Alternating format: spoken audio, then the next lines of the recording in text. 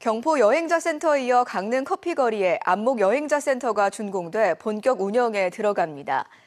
안목 여행자센터는 연면적 456제곱미터 규모의 단층으로 신축됐으며 강릉 커피거리 여행객들을 위한 관광 안내소 역할과 함께 휴식 스마트 관광 서비스를 제공하는 복합 공간입니다.